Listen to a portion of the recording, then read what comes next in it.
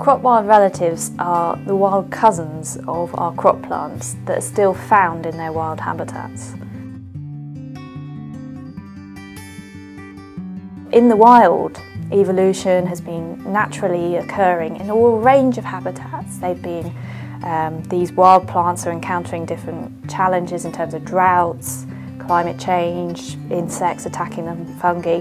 So there's in that set of wild relatives, there's a real genetic diversity there that's going to help us to improve our crops to tackle the problems of the future. And we need that in order to you know, feed the growing population. They're actually one of the tools that we can use to improve our crops. Yet they're very underutilised and threatened in the wild.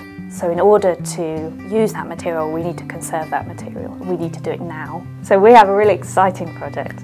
It's the Adapting Agriculture to Climate Change project.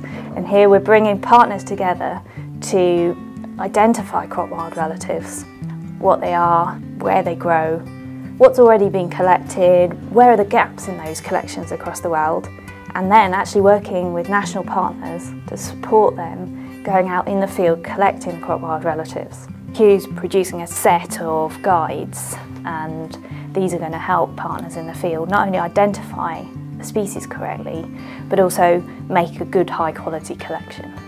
But we don't just stop at that conservation phase, we're providing that material and we're linking in with pre-breeders, so people who can start growing up the material, looking at it, um, evaluating it, seeing where that use might come. The exciting thing about working on the project is working with partners.